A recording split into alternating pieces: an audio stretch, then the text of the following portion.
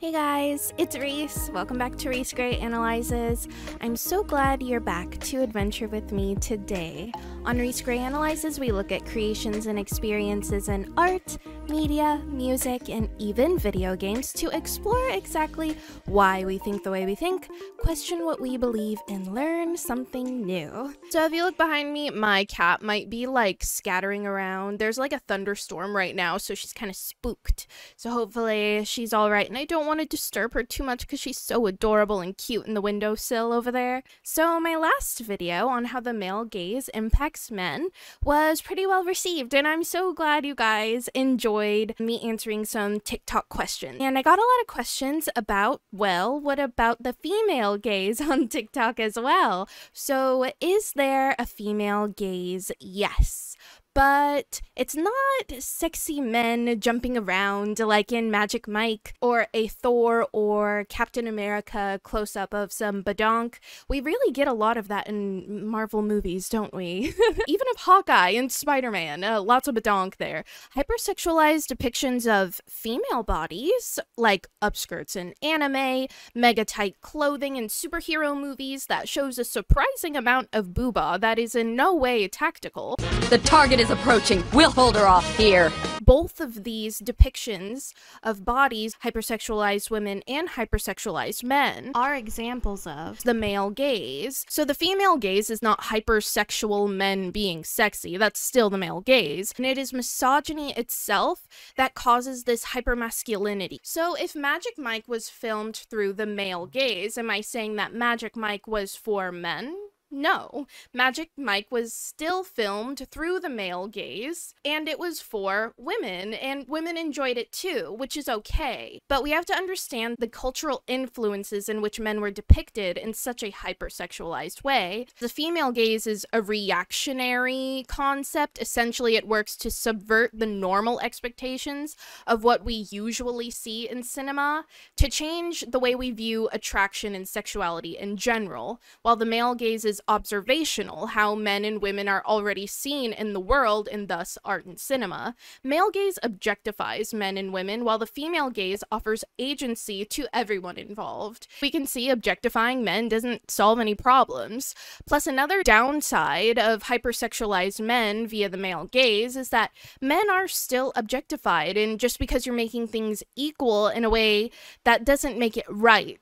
Feminist academics aren't going around like, well, well, well, let's make it fair and overly sexualize male bodies and give them no personality. And let's make it even by making men feel like they can never be good enough because their necks will never be as large as Channing Tatum's. And then everyone's just sad and doesn't feel like they're enough. Uh, feminism wants to objectify nobody and instead recognize the unique attributes of a person that makes them uniquely them and equalize the playing field. So I think this concept tends to confuse people sometimes because it's misleading because you hear male gaze and you think that word means through men's eyes and the female gaze women's eyes but it's really not that simple. And it's because of social conditioning that teaches us that bodies are attractive and sexy. The female gaze challenges that by challenging people to look at both men and women as complex people not bodies and it asks cinema to evoke emotions and feelings, focusing on a sensual and intimate interaction and atmosphere, even in lighting. Comparing the male gaze versus a female gaze, we can see that they are not direct equivalents, which makes things kind of difficult. Female gaze is based on sensations of intimacy and attraction. This is not to play into this trope of men are more visual and women are more emotional, because that is what the male gaze teaches us. Rather, the male gaze sexualizes men and women, and the female gaze focuses on the artistic work of making someone seem attractive through means other than their body, rather than gender or sex. It's just valuing everyone's agency. So, valuing people for who they are, and valuing intimacy and sensuality instead of determining your physical attributes are what produces arousal. This can be seen in shows like Bridgerton, where people's intimate relationships, personalities, and such are what found people attracted to each other. And did they still find each other's bodies attractive? Of course. And there's nothing wrong with that. But it was an addition to an intimate bond being formed. The whole point of Bridgerton was to show people wanted to marry for love and exploring what love and intimacy is and how that grows and form and looks like and how it grows and forms and shows differently for different people, and how love and intimacy is so complex and personal, which is why conversations such as these tend to get so heated because we have to recognize the subjectivity of these types of experiences. And we also have to realize the ways in which culture influences the way we feel in the first place. Laura Mulvey coined the term male gaze in her essay Visual Pleasures of Narrative Cinema, and people brought up that Laura Mulvey's male gaze didn't consider intersectional issues. So, intersectionality is when you consider issues that affect different types of people, most notably marginalized people. So, how black women and men are viewed by the male gaze is different than how white women or Asian women or men are viewed. And I want to note that critiques of academic work, it doesn't necessarily mean the research or theory or work was bad,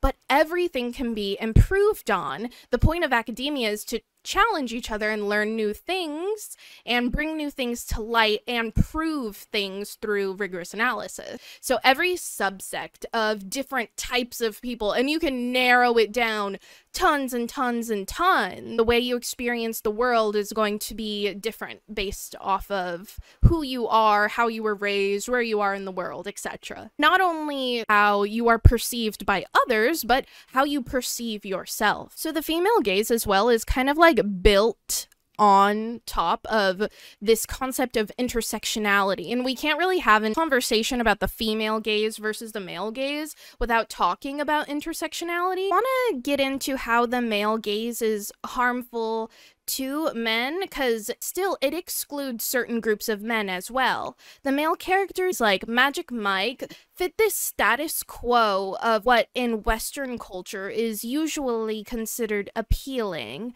In other countries such as East Asia and now more commonly in the US with the rise of K pop and such, challenges the traditional Western ideals of what an attractive man is supposed to be. So the male gaze ends up harming men by objectifying men too, as well as it objectifies women with this hyper masculine standard. For example, in a Western male society, Asian men, even widely successful K pop idols, are sometimes compared to be super feminine, and it's so odd how these girls find them attractive. I want to get into some fun facts about the emasculation of Asian men, actually. This started years ago since Asian men started immigrating to the US. Fun fact, but actually really sad fact, I guess. In the 1930s, Filipino men immigrated to the United States to work as laborers. And in their downtime, they would frequent taxi halls where they defy the time's segregation laws by dancing with white women.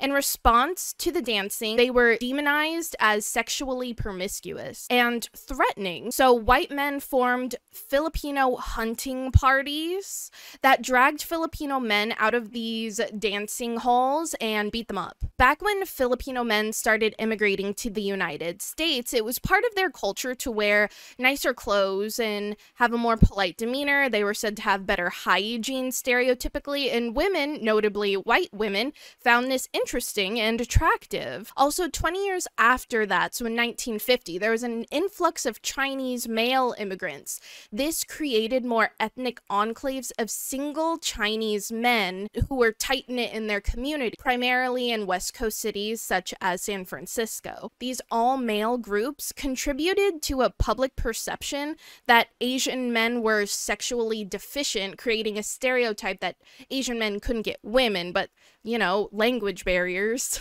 cultural barriers. But this lended to the perception of the undesirability of Asian men, perpetuating emasculation. Not to mention the few times Asian men were portrayed in cinema, they were either the villain or a joke or extremely exotified. So this didn't help their case either. So conversations about the male gaze and female gaze can easily get really heated and muddled, and people can argue about definitions definitions, subjective experience, biology. But having these sorts of conversations are pivotal because we're trying to figure out why we personally think the way we think. And why we find something attractive has a lot to do with what we are taught and what is expected and what is shown to us.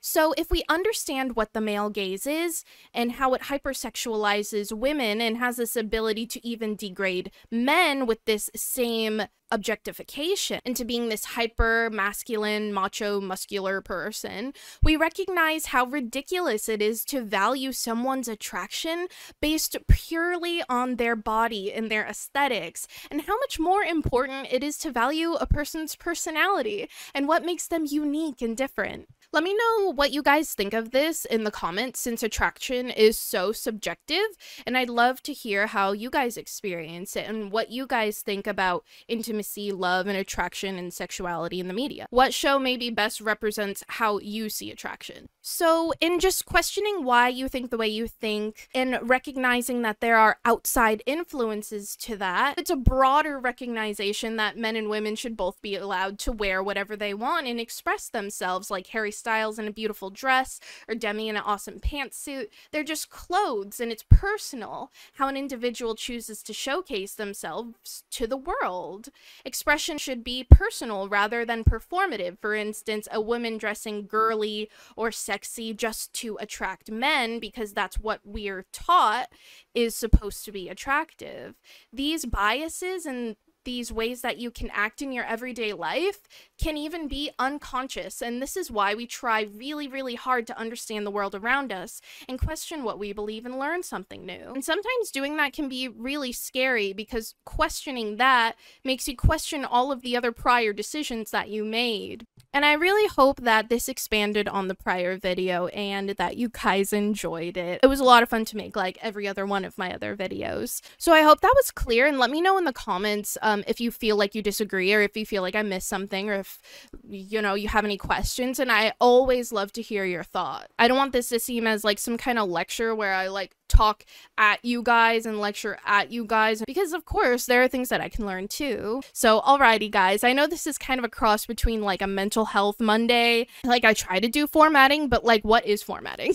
join the Discord or join me on Twitch to watch some gaming live. I'm gonna start doing live commentary too, so that'll be a treat and I'm really excited for it. Speaking of uh twitch.tv slash HewwoReese, guys, H-E-W-W-O-R-E-E-S-E, here it comes comes. You know what's coming up.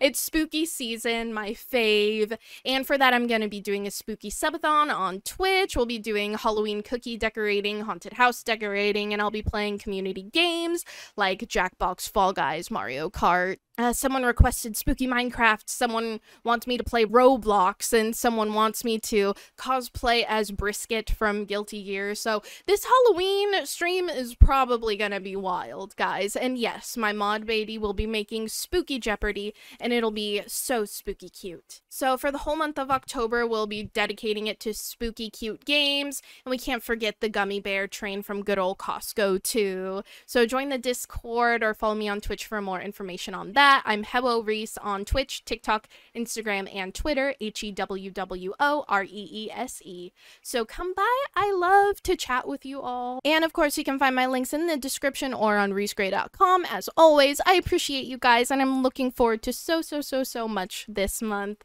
So that's it for today. Okay. Love you. Bye.